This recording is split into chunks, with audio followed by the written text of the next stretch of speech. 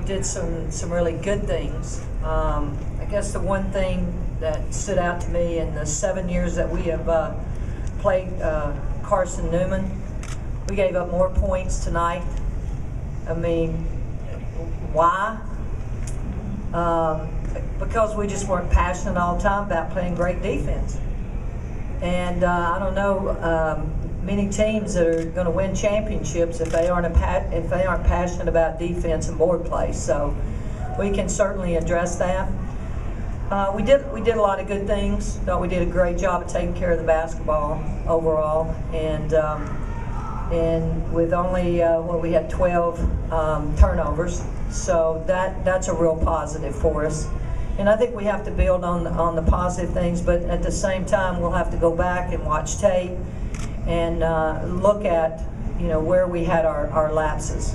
So um, with that said, we know we have a lot of room for improvement, but defense and uh, and, and, and rebounding, you know that's our bread and butter. It has been, and it's going to have to. Uh, we're going to have to make sure that they understand that that's two of the most important things that happen when we step on the court.